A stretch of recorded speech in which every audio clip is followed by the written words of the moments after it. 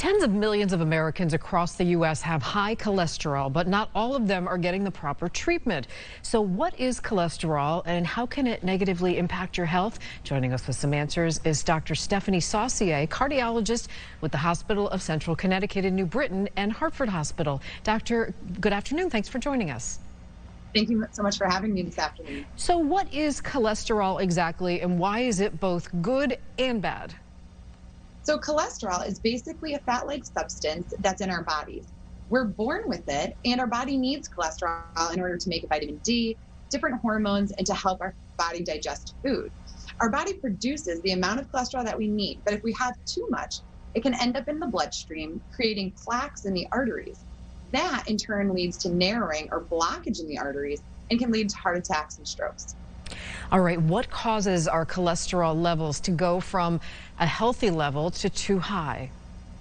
So your overall health plays a big role. If you're overweight, smoke, have diabetes, or if you're not exercising, you're at risk for having high cholesterol.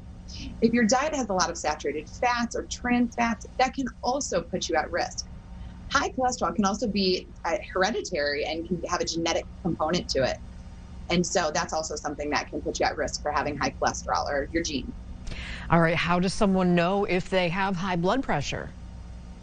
So someone would know if they had high blood pressure. Usually their primary care physician would check their blood pressure or any of your doctors at any visit.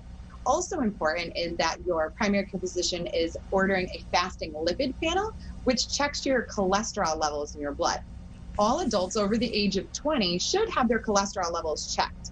And additionally, if you have a family history of premature heart disease or a genetic component of high cholesterol in your family, you may need your cholesterol levels checked earlier than age 20.